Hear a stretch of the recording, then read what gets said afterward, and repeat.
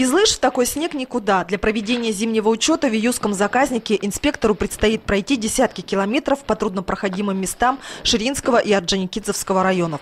Это раньше можно было проезжать по маршрутам на машине или снегоходе. Новый же метод требует пеших переходов и наличия вот такого веничка первый день он необходимо ему замести эти следы, он ведет с веничком, затирает следы, чтобы на следующий день не спутать старые и новые следы.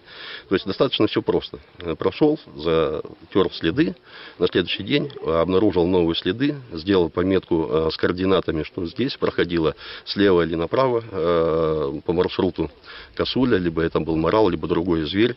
Э, делает отметку, э, идет дальше, видит еще один след, делает отметку, потом эти данные все собираются, анализируются, э, все сводится в сводную таблицу и по методике производится расчет, сколько какая же плотность зверя именно на этом участке.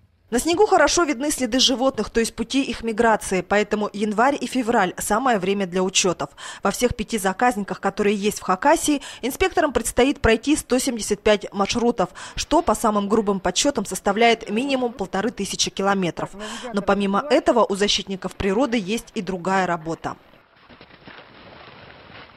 Этим утром в Юском заказнике температура минус 38. При таких морозах учеты проводить запрещено. Чтобы не терять время, сотрудники дирекции по особо охраняемым природным территориям заняты так называемыми биотехническими мероприятиями. Они делают и ремонтируют кормушки для копытных, развозят сено.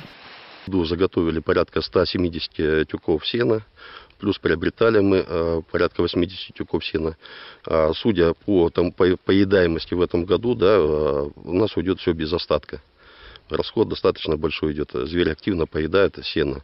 А, плюс к тому же закуплено порядка 40 тонн овса Благодаря заботе человека в заповедниках, заказниках и других охраняемых зонах зверя становится больше. Инспекторам Дмитрию и Николаю Ивановым удалось снять редкие кадры в заказнике Кискачинский.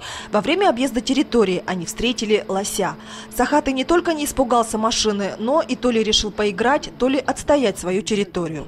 Агрессивно настроен был так это. Поиграться хотелось. С уазиком. Не боится ничего. Не пуганный зверь. Под защиту попадают не только животный мир, но и памятники природы. Так что в планах дирекции создание в Хакасии новых особо охраняемых территорий, где вмешательство человека будет минимальным.